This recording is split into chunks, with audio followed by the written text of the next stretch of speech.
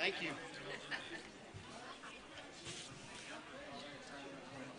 Oh, I got it. I printed it home and wrote all my stuff on it. Thank you, Mike. Morning, John. Oh, I like to pick on him.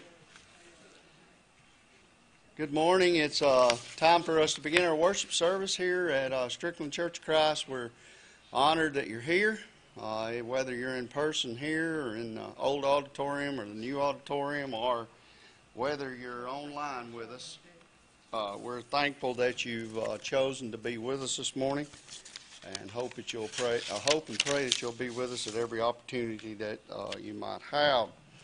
Um, later on, we'll go through all the Zoom classes. I think I said that last week, and then I forgot to do them. So uh, I'll try to, I'll try to remember. I, I must have been in a hurry to get somewhere. I'm not sure, but I'll try to remember to do them today uh, before we dismiss. Just as a reminder, I, I know they're on the uh, PowerPoint, uh, but I'll uh, try to do them as a reminder for everyone. Those participating in services this morning, Billy Rainey will have our uh, song service.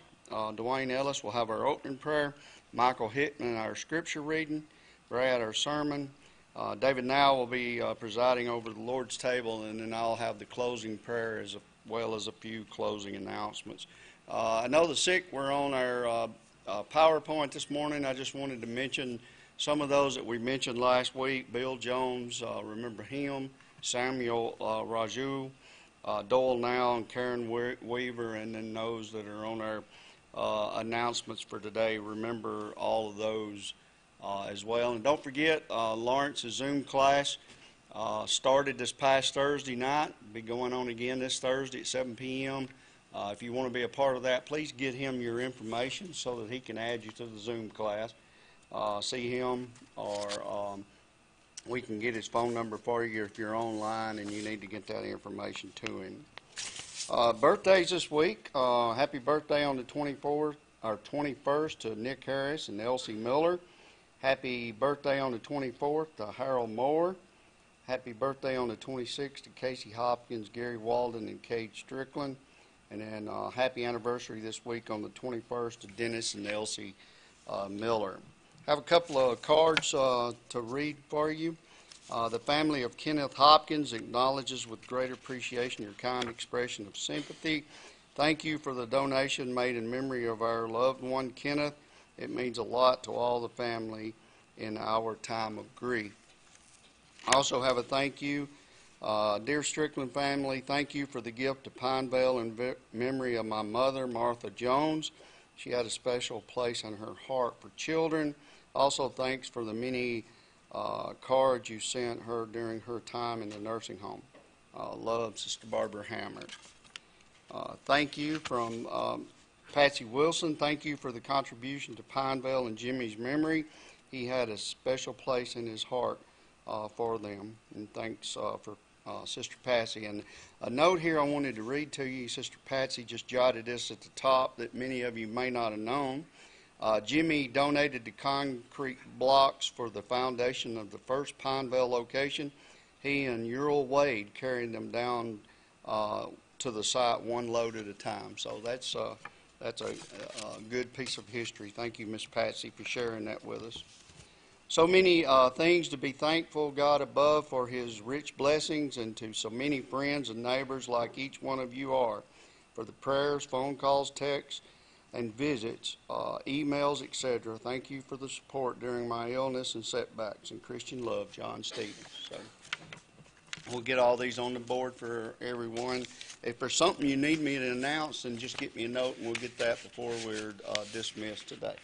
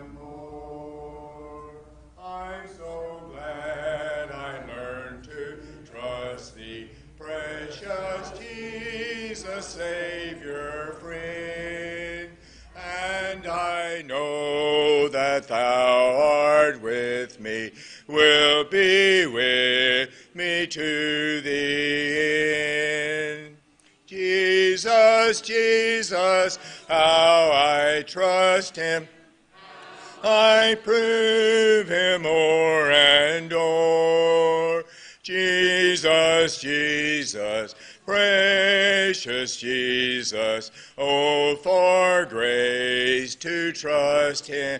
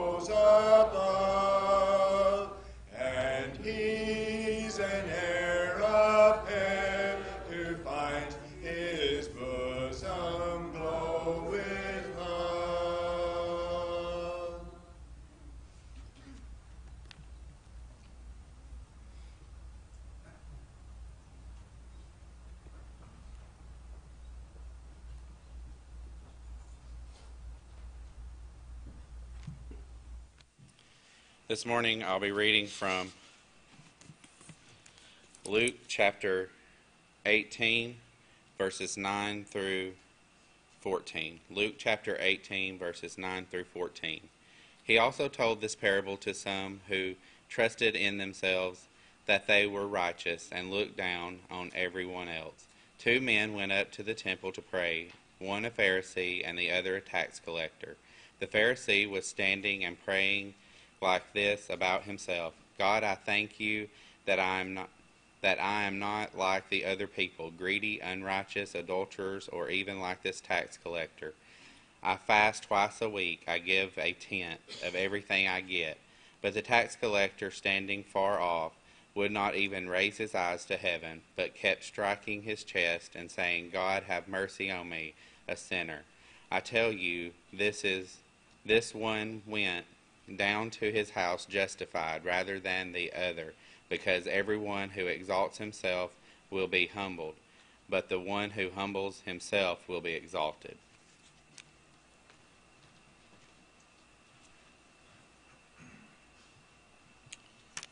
Let's pray together.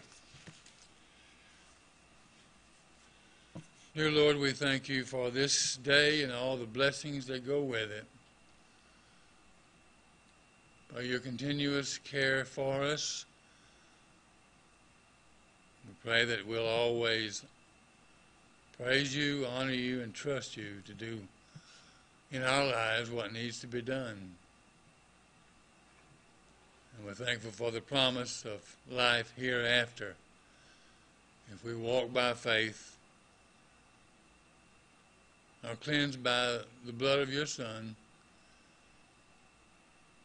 that we do whatever you ask us to do in order to come in contact with that blood. We thank you, Lord, for that great sacrifice that He made for us. We're mindful of those who are hurting this morning, those who are sick, those we've just mentioned.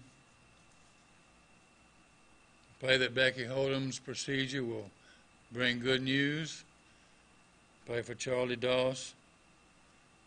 That Bill Jones will get better and feel better. Doyle and Al will have better days ahead. For Karen Weaver. For Sarah Vanderford and her heart procedure, her heart surgery. We're thankful that John Stevens is better and feeling better these days, and we pray you continue to bless him with good health.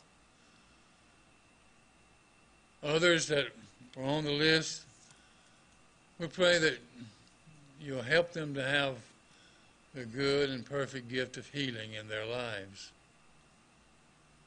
We pray for spiritual healing, those who are faint hearted, and those of us who slip and fall from time to time. And we pray for those who are wayward, those who were once members of your body, now are still members, but they're unfaithful, and we pray that you'll restore them to faithfulness. Help us to do and say whatever needs to be said to encourage them to do that. Pray the borders of thy kingdom will be, will be broadened eh, and that you'll give the increase in this community and beyond. That you'll bless those that we support in the missionary fields and others that we would like to but cannot. But we pray for them to continue to preach thy word under difficult circumstances, especially in countries where COVID 19 is so rampant. Pray that you'll help us to overcome the hardships that COVID 19, the virus, has brought upon us. That you'll get us back to a more normal way of life according to your will. And we'll be able to shake hands and hug each other again. We know that you can, but we don't always know what your will is. May good come from the bad. May you providentially guide those who are in positions of leadership that your will may be done. You'll restore America to a more influential role in the world. That you'll be with world leaders as they come together. That you'll bring peace upon the earth according to your will. We're thankful for all the love that we have for each other. Help us to love and encourage one another, to respect our, our leaders, our elders, our deacons who serve. We're thankful for Brad and Terry as they preach the word, and for Lawrence and all those who teach your word in the classes. We pray that you'll help them to be strong Help us to study your word, to love it, to use it in our lives the best that we can. Thank you, Lord. Help us to walk by faith that we may hear those wonderful words at the end of this life and at, in the judgment. Well done, good and faithful servant. Help us to always keep the attitude of the penitent tax collector. Be humble before you and always ask for your mercy and show your mercy to others. In Jesus' name, amen.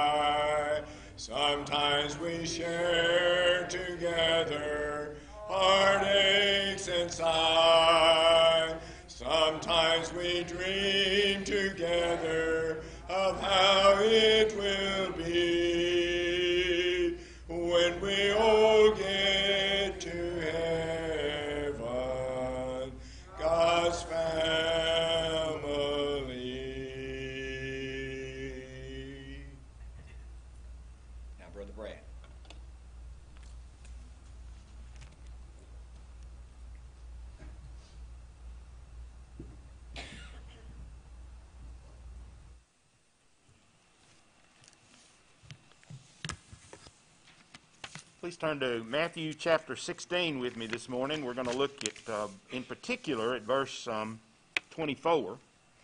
I'm sorry, we're going to begin with the, our main text of our lesson. will begin with 24, and 26 will be the key verse that we'll that we'll look at. We've looked at this verse, and I've no telling how many sermons I've mentioned it in over the years, and maybe even preached entire lessons on it. And I'm not going to do an oldie but goodie today, but I, there's some, some thoughts I want to share with you about this as we as we think about this particular verse. So while you're getting your Bible situated, I would ask you to to remember me and your prayers this week and my mom.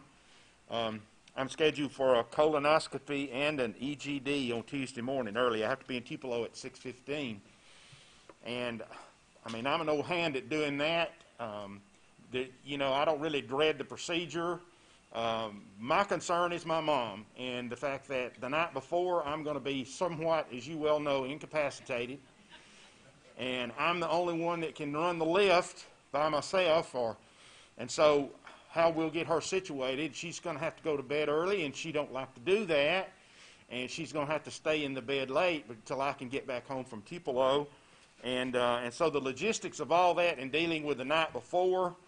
Um, and I, I already put this off once. I was supposed to go in, actually in, in April, and because of the pandemic, they weren't doing them. And that was my five year limit. And I had three little polyps five years ago, or five and a half years ago. And so I need to follow this up. And, uh, and so in the process of all of that, um, I rescheduled it for this week, and I decided, you know, I'm, I need to go on. I don't want to go, but I need to go. And so just pray for us, and especially pray uh, for Sister Edna. Today, I want you to think with me uh, in, in attempt- attempting to answer the question is it worth it? And the is it could be anything, it could be anything in your life that would come between you and God.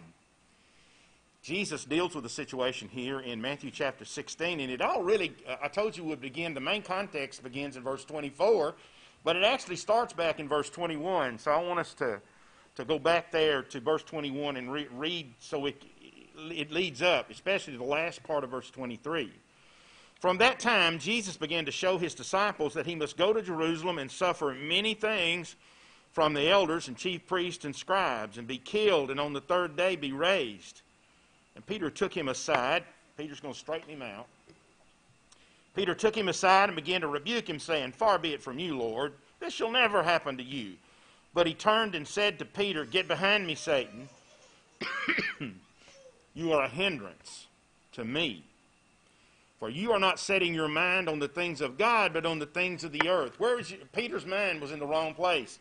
He had his mind on earthly life. He, he was still looking for Jesus to be this earthly king, I'm sure. And he knew too, that Jesus was the Christ, the Son of God, and far be it from him the very idea of putting the Son of God to death. And, and from an earthly standpoint, especially, uh, Peter rebuked him, but then Jesus says, You're hindering me, Peter, because your mind's on the world. Your mind is on earthly life, on, on our existence here, and your mind is not on the things of God. And we, we do that all the time in our lives. We allow ourselves to be more concerned with this life than the next. And so, with that in mind, with Jesus just saying, you're not setting your mind. The set your mind means that it's, a, it's an intentional thing, it's a purposeful thing. You're not setting your mind on the things of God, but on the things of, of man. Now, verse 24. Then Jesus told his disciples, If anyone would come after me, let him deny himself and take up his cross and follow me. Now, notice there, if, it's a choice. The word if means you've got a choice as to whether or not you're going to come after Jesus. When we think of the word come after, uh, he's blazed the trail for us. He's in, the, he's in heaven now. Are we going to follow? And he will use the word follow here in just a minute. But before he does, he uses another ter- couple of terms there that, that, uh, that help, put the, help us understand what coming after Jesus means. There are those who are going to come after us. They'll follow our example. Uh, Jesus has, has gave us the kind of example we need to live on this earth, but he also is in heaven now, and he wants us to come be with him. And we must resolve in our lives if we are going to come after him. I hope you've already made that decision. And sometimes we make that decision and then we get wishy washy about it because the world, the things of man, the things of this earth begin to crowd us out. So if that someone I've, I've, told, I've told you this many times. Someone has said the word "if" is the big one of the, is probably the biggest word in the English language. Only two letters, but so much is is is conditioned upon it. If if you're going to come after me, you must deny yourself. Here we're talking about not our, our selfish desires, our intents to do the things that are wrong, wanting it our way instead of God's way. We deny ourselves and take up our cross, which means the responsibilities of living for Jesus. That means our very, when you think of the cross of Jesus, that's where he gave his earthly life for us. And it may mean our earthly life is, is it, we have to give it up at some. And we will give it up at some point uh, by natural causes, if nothing else. Uh, but in this life, we have, to, we have to take up our cross and then we follow Jesus. It's a decision um, that we make in our lives. And you know, there are a lot of people that don't make the right choice here. I'm reminded of Esau. Sold his birthright for a bowl of porridge or some stew or whatever you want to call it there that Jacob had prepared. Um, he probably didn't figure that it was going to come to that. I don't know. We don't know what was Esau was thinking. He just decided he was so hungry, and he said, "You know, I'm I'm dying to I'm dying here. Uh, I'm so hungry. I'm going to. I'll make the trade. But I, I, I often wondered if Esau really thought it would come to that, knowing his relationship with his father. But it did come to that. He slighted his birthright. He made light of it and traded it for some food at that particular time. He made a bad trade. And in life, when we choose not to live for God, we're making a bad trade. And that's why I said we'd begin this lesson with the question uh, is it worth it? You know, Jesus was a master at asking questions. Uh, just look at the, through your New Testament sometimes, through Matthew, Mark, Luke, and John, at the number of questions that Jesus asked, and always the profound lesson that was involved. Anyone who was listening to him in that day when these words were uttered, and any of us today as we read these words, you can't be the same once you. It's going to cause you to either, eh, you know, and it's here that word "if" again. Eh, if I'm going to follow God or not. What will I give in exchange for my soul? And so it's that that you know that particular passage, that verse, verse that we just looked at, verse 26, is a sermon in and of itself, and it will change your life if you allow it to.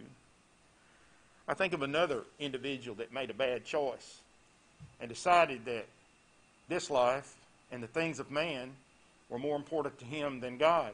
A young man approaches Jesus one day and says, Good master, what shall I do to inherit eternal life? And they begin to discuss the, the old covenant about honoring your father and the mother, and, and, and, and he, Jesus talks about the basics of the of the old law, which they were living under at that time. and the young man said, I, I've kept all these from my youth up.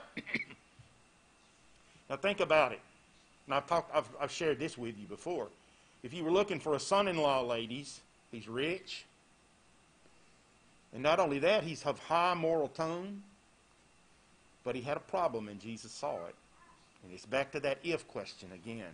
Jesus said, Well, if you would have eternal life, go and sell everything you have and come and follow me. That's what he's telling us here. If you're going to come after me, take up your cross and follow me. And he wouldn't do it. He had great riches, and he walked away from the Lord sorrowful. And we are reminded here uh, in this incident with the young man that indeed people will walk away from God. And frighteningly enough, you have to think about this from the standpoint that you can walk away from God. It's your choice. If, as Jesus begins these thoughts, if you're going to have eternal life, if you're going to come after Him, if you're going to follow Him, you must take up your cross as you do so. Well,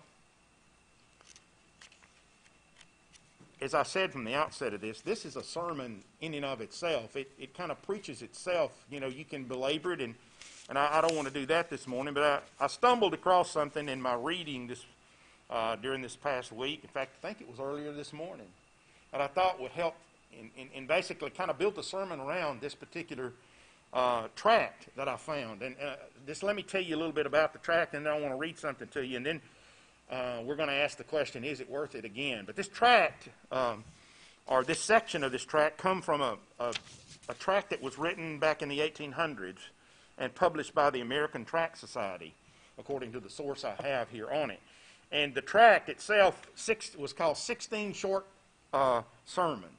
You can look that up on the internet, I guess, because that's where I found it. 16 short sermons, and I think this was number one on the list, if I'm not mistaken. And I'm not sure who wrote the, the, this particular uh, little sermonette, um, but I do know it is from that tract, and it, it, was published in the 1800s. And I want to read it to you. It's about Matthew chapter 16 and verse 24, and I want, to, I want us to read this context first in its entirety. I, I started it, but I didn't finish it. If anyone would come after me, let him deny himself and take up his cross and follow me. For whoever would save his life will lose it. In other words, if this life is more important to you than anything else, that's where your emphasis is going to be, and you're going to lose your eternal life, is what Jesus said, because your eternal life is not priority in your life. But whoever loses his life for my sake will find it. If life on this earth is not as important to you as living for God, then you, you understand what Peter didn't understand. Your mind will be on the things of God and not on the things of man or the earth. Well, he goes on to say, and this is our main text For what, and it's a question, what will it profit a man if he gains the whole world and forfeits his own soul? I meant to talk about that word forfeit too, and I guess this is as good a time as any.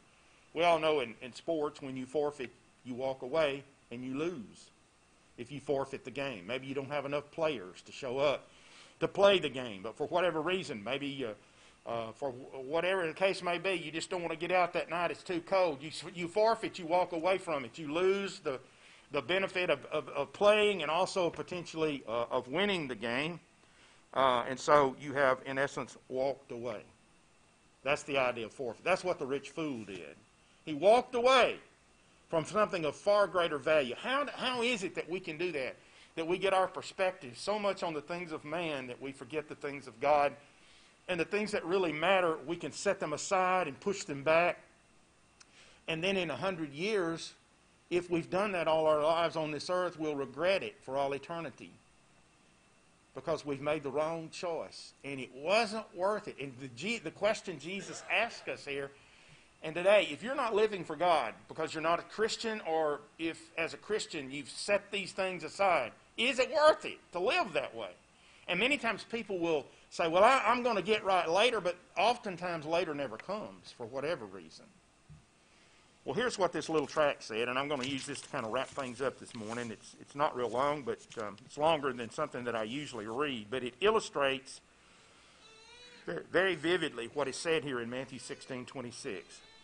Here's what this man, whoever he was, wrote, or person wrote. I don't know, man or woman. I have a soul as well as a body. My soul must live forever in happiness or misery. It is capable of pain or pleasure inconceivably greater than my body.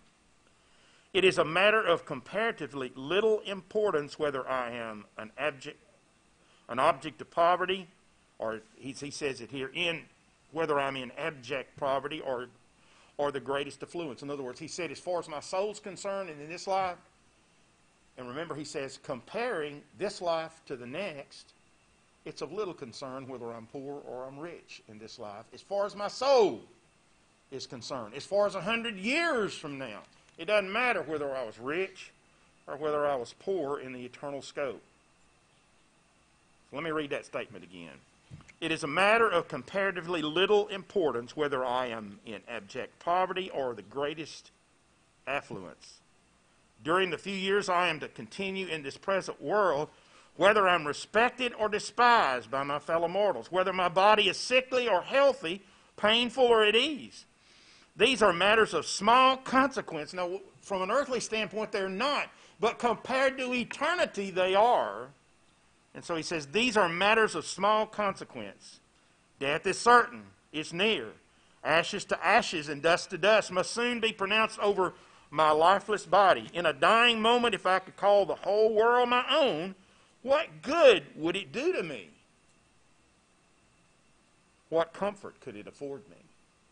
To be able, as in your last breath, to say, I own the world, and it be true. What good would that be if you're not ready to meet God?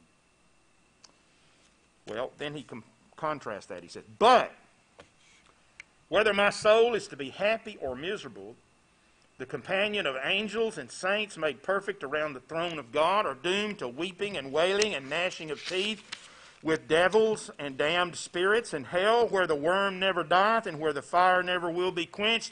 This is the momentous inquiry I ought to make. This is the question. It's either or. If. It's up to us.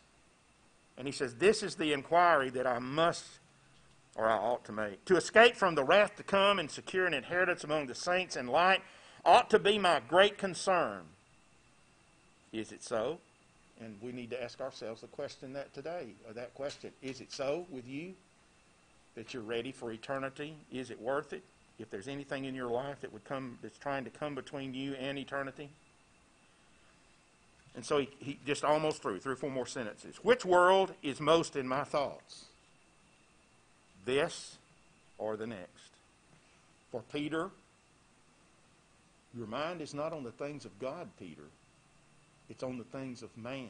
And you need to make up your mind. If you're going to follow me, if anyone's going to follow me, take up your cross. If you're going to come after me, take up your cross. And so, which world is most in my thoughts, this or the next? What am I most anxious about? Am I not often inquiring what shall I eat and what shall I drink and wherewithal shall I be clothed? He's quoting that right out of Matthew chapter 6. But when did I seriously inquire, what shall I do to be saved? If I have no prevailing, concern about my soul, it may be certain my state is bad and its danger awfully great. So today, where's your mind? Is there anything coming between you and God as a Christian today? Repent of that. Return home to God. Seek His forgiveness by confessing that you sinned, and, and, and as openly as it's known, it may be something you need to correct in a public way. Ask God in, for, uh, in prayer. We'll pray with you if we need to. If we all need to pray together about it. If you need to come forward, but there's nothing that's worth it. That's the. We started with this question. There's nothing worth worth being lost or coming between us and God. Today, maybe you're not a child of God. I hope you'll become one. I hope in faith that Jesus is the Son of God, that you'll confess that belief. You'll be willing to repent of all known sin in your life and be immersed into Him after confessing Him as the Son of God and your belief in that, being immersed into Him, baptized for the remission of your sins. So, the question comes back to this What am I most anxious about? Is it things in this life, the things of man? or the things of God. And once I think about the things of God and they're most important to me, then I'm, not anxious anymore. I have peace. Come today if we can help you in any way as we stand and sing together. What a friend we have in sins and griefs to bear.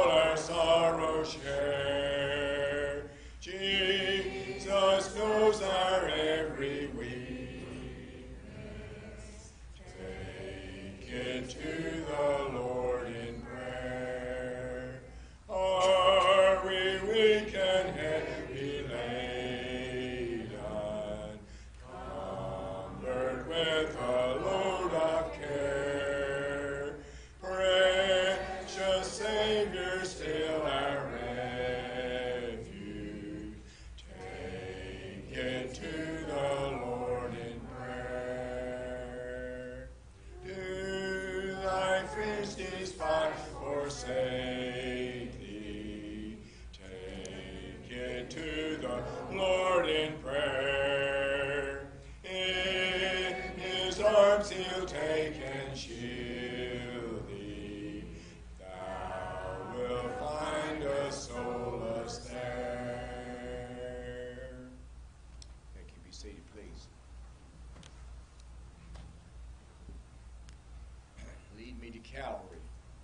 Be a song before our, we partake of the Lord's Supper for us to meditate upon and concentrate upon the words of what the memorial feast that we're fixing to observe is all about.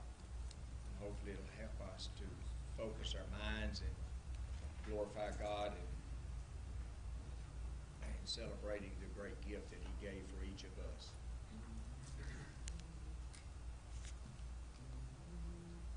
King of my life, I crown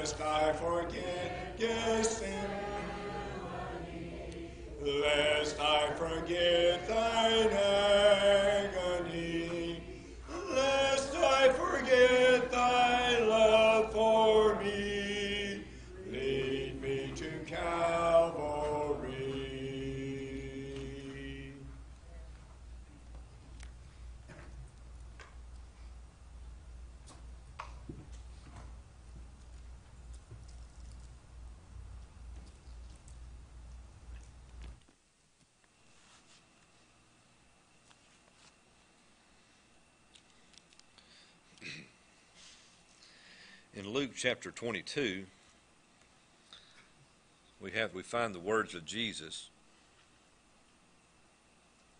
early in this chapter, they plot to kill him because they hate him. They like nothing that he does. He's stirring up trouble. And it's a plot, a political plot to kill him. And during this difficult time, Jesus knows what's going to happen, whether the apostles do or not. So in verse 14, starting with verse 14, Jesus institutes the Lord's Supper.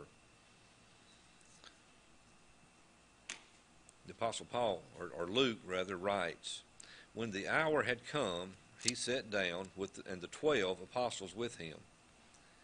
Then he said to them, With fervent desire I have desired to eat this Passover with you before I suffer.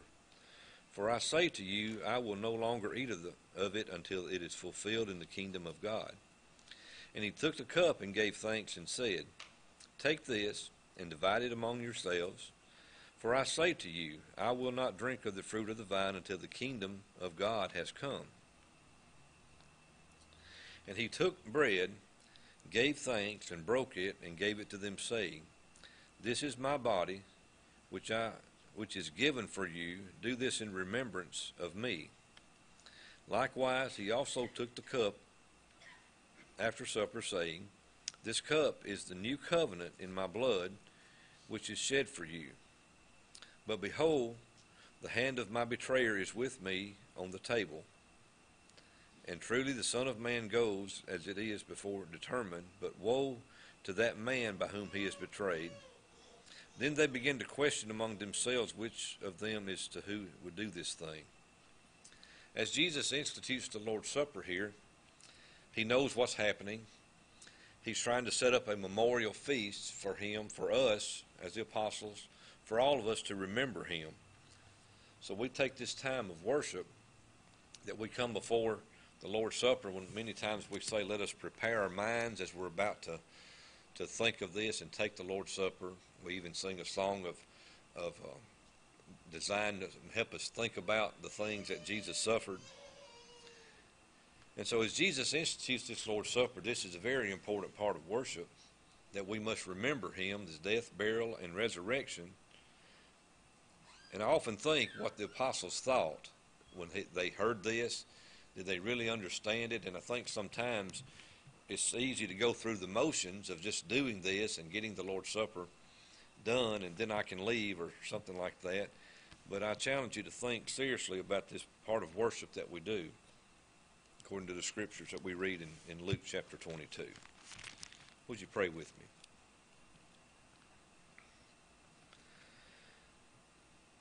Most gracious Heavenly Father, humbly we come before Thee this morning, thanking Thee for all the things that You've given us.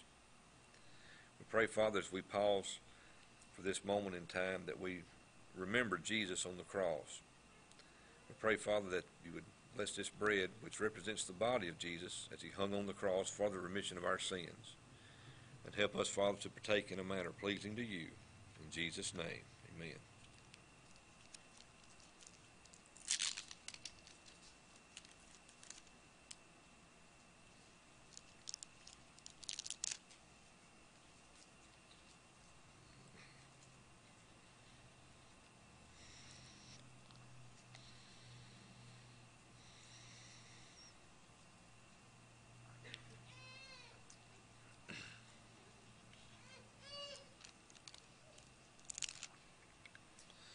Let us continue. In like manner, Heavenly Father, we're thankful for the cup that represents the blood of Jesus as it shed on the cross for the remission of our sins.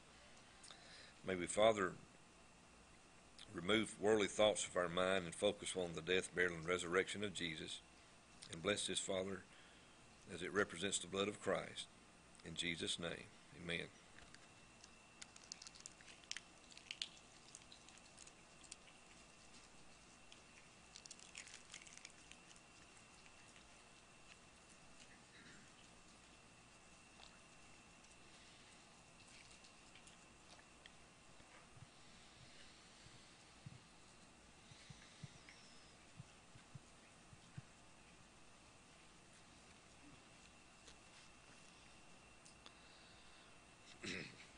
This concludes the Lord's Supper as a part of worship.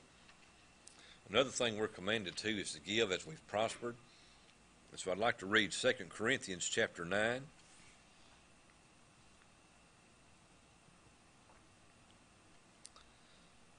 These are familiar passages to all of us.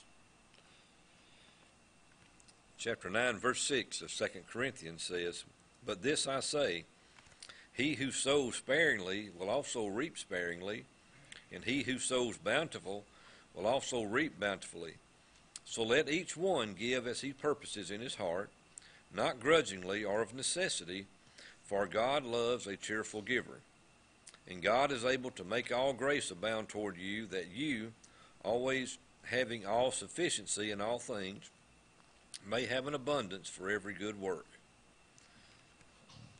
So as we as you leave today, we, I'll have a prayer in just a second. But as you leave uh, today, if you if you haven't done so already, there'll be someone at each door for you to give the contribution to, to continue the works that we have in place that we're continually still trying to do and striving to do, and those groups that we support monthly, uh, they continue to to be uh, given given to monthly, so we can support those works. Would you pray with me?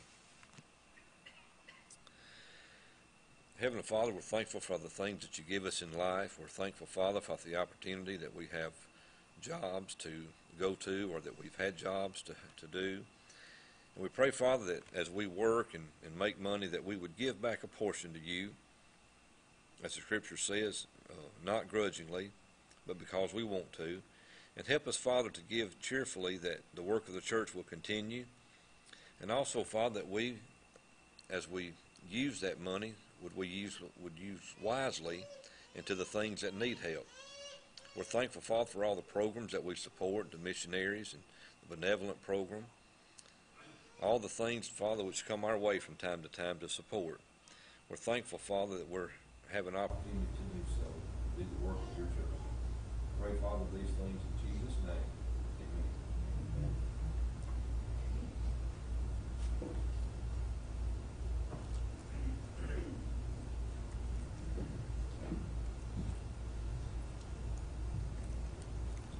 We want to thank each and every one of you for being here today, and for those that might be viewing us on Facebook, YouTube. It's a beautiful day outside, and everybody's enjoying this fall weather. It's just another blessing that God has given us, given us life, given us health that we can enjoy. This last hymn, sowing the seed of the kingdom, kind of speaks to each and every one of us. Are we sowing the seed and encouraging and helping others to find their way? Sing with me if you would, please. Are you sowing the seed of the kingdom, brother, in the morning, bright and fair? Are you sowing the seed of the kingdom, brother, in the heat of the noonday's glare? For the harvest time is coming on, and the reaper's work will soon be done.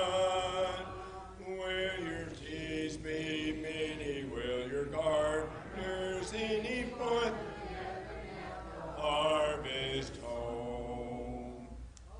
You sowing the seed of the kingdom, brother, all along the fertile way. Are you sowing the seed of the kingdom, brother? You must reap at the last great day.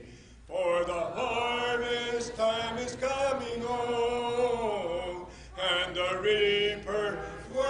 soon be done. Will your sheaves be many? Will your garner any for the gathering at the harvest home? You'll have to excuse me, I got, got to follow my book instead of, instead of flipping on the screen right there.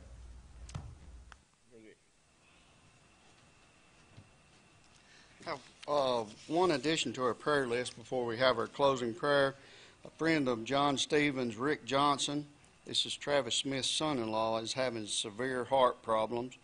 Uh, it's also uh, Tammy Johnson's husband, uh, who's a teacher at Alcorn Central. So I ask you to add Rick Johnson to your prayer list. Let's pray. Father, we're so thankful for this day. Uh, so thankful, Father, for the cooler weather. Father, we're looking forward to the fall and the changing of the seasons, Father, and we're so thankful, Father, for uh, this land in which you give us to enjoy. Help us, Father, to never take it for granted. Uh, we're so thankful that we live in an area where seasons are uh, changed, Father, and that we look forward to one or the other. Thankful for the opportunity we've had to be together today and pray, Father, that our worship services have been in keeping with your word.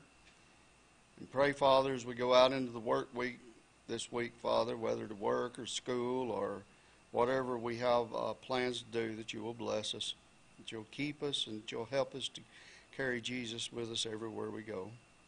We're mindful, Father, of all those on our prayer list and pray that you'll continue to bless them. Ask you to play, pray. We ask you to be with Brad this week as he goes in for his procedure. Also for uh, Sister Becky as she has hers. Ask you to be with Sister Edna, Father, as uh, Brad will uh, not be able to take care of her as he usually does, and ask you to uh, be with her and help her and give her comfort. Father, we pray for those that have lost loved ones, many in our community and our own congregation over the last few weeks and months. Pray that you'll bless them. Father, we pray that you uh, will continue to bless us in all things.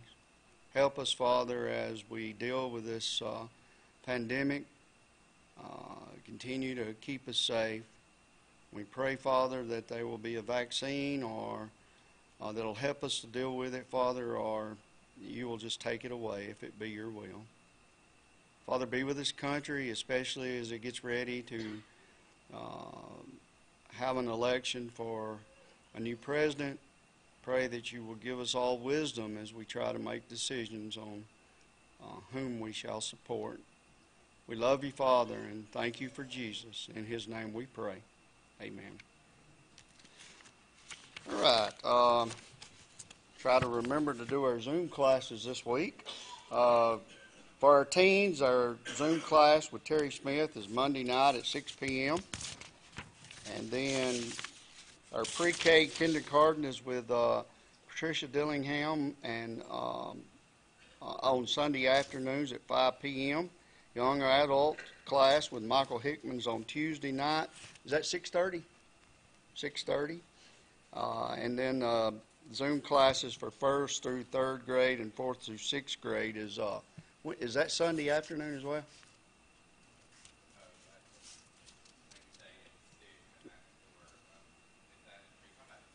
Well, this thing's not updated, so it doesn't have. Terry?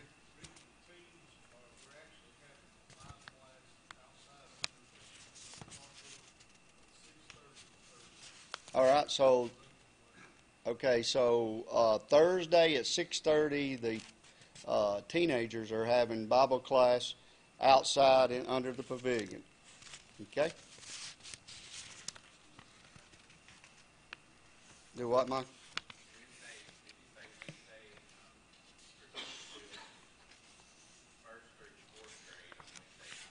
Yeah, first through fourth grade, Wednesday night at six. And then uh, Lawrence is uh, Thursday at 7 p.m. for Zoom class. And don't forget, if you want to be a part of that Zoom class, please give him your information so he, he can add you. I want to say congratulations to Anderson, Miss Kim. Anderson was uh, homecoming queen at uh, Alcorn Central this year, so thankful for her and Miss Kim, and know that Miss Kim's proud, and I can see the gleam even with the mask in Anderson's eyes. So. Is there any other announcements before we're dismissed this morning? Anything at all? All right, as always, will the back section back here will stand, please, and be dismissed to the rear. And then on the right side, if you guys